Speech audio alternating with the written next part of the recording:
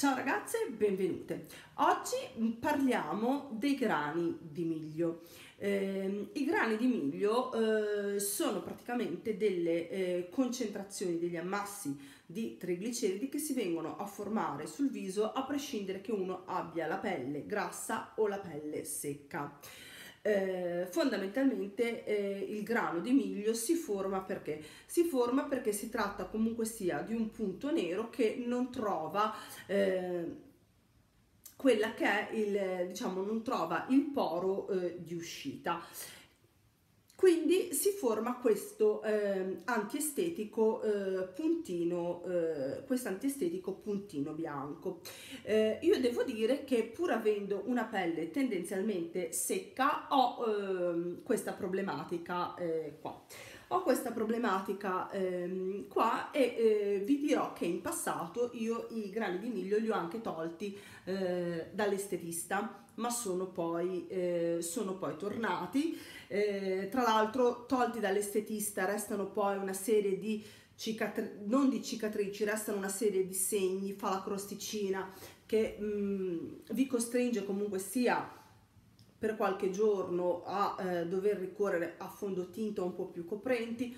Non so quanto poi eh, sia, sia, corretta l'applicazione di un fondotinta un po' più coprente ehm, del, ehm, dopo che è stato asportato eh, il grano di miglio perché comunque sia si tratta di una lesione della cute sulla quale viene applicato un prodotto al, cose alle quali io sono um, cioè, um, contraria sulla cute. Le, i prodotti vanno applicati sulla cute eh, integra sulla cute um, comunque sia lesionata. Io sono, uh, sono contraria a, a, questi tipi di applicazioni. Eh, Ciò nonostante è, eh, è necessario comunque sia a meno che uno non faccia come me che è uscito ugualmente con, eh, con, con, i segni molti si sentirebbero sicuramente a disagio. Dipende poi dall'entità da quanti se ne ha eh, da quanti sono stati tolti dall'entità della cicatrice del, del, segno che viene ehm, che, che, rimane. Quello che vi posso dire è che il grano di miglio tolto dall'estetista comunque sia da una brava estetista non lascia alcun, ehm, alcun segno.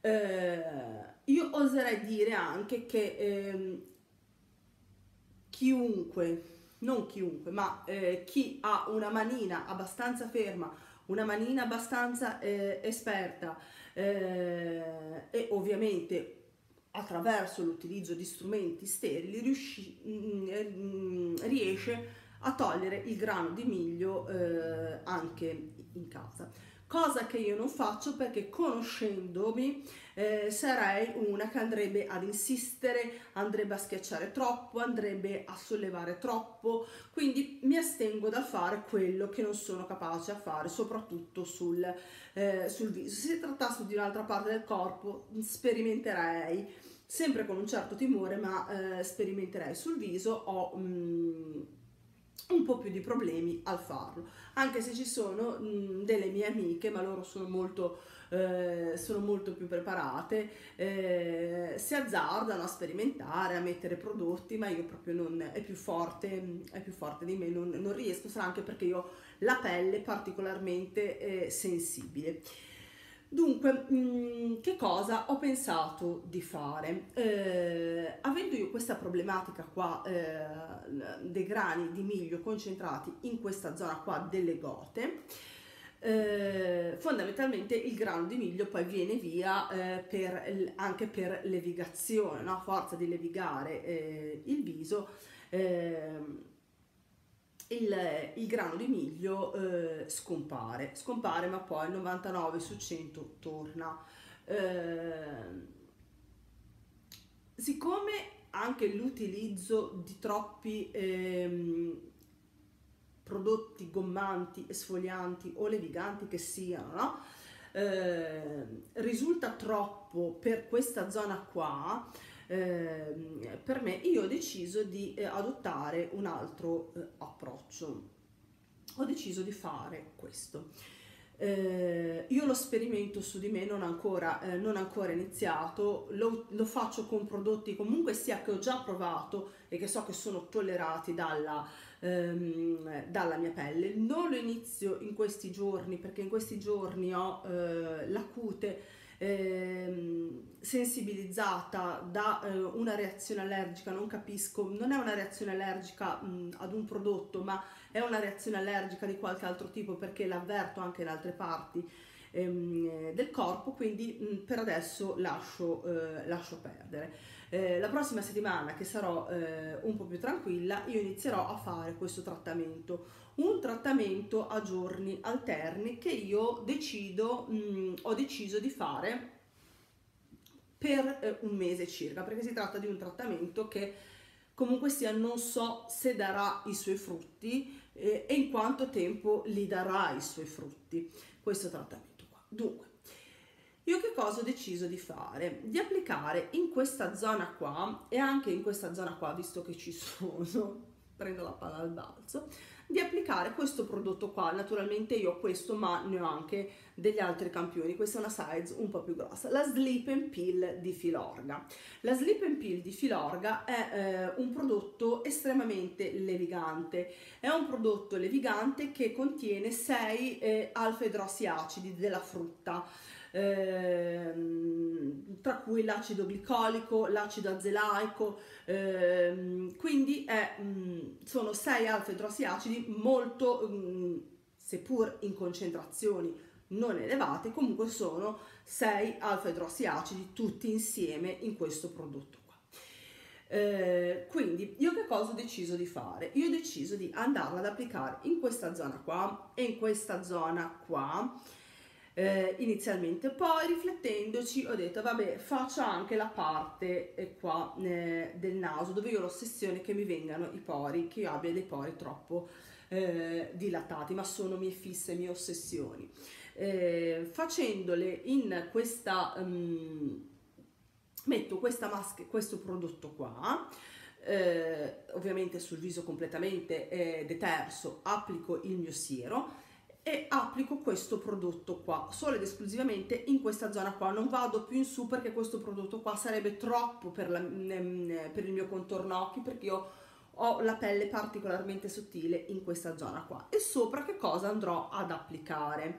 Andrò ad applicare ve lo mostro eh, un velo di questa maschera intensa all'acido ialuronico dell'istituto Estederm su tutto il viso, quindi andrò a dormire e la mattina seguente, dopo la mia detersione, la mia skin care, il prodotto, i prodotti di trattamento, i prodotti di make up, applicherò come sempre, ma con un occhio di riguardo in più per questo periodo, il filtro solare il filtro solare perché comunque sia tutti questi acidi qua ehm, prodotti comunque sia leviganti eh, esfolianti così mh, mm, è meglio farli durante la stagione invernale soprattutto e eh, comunque sia nece- si necessita sempre di una protezione ehm, solare.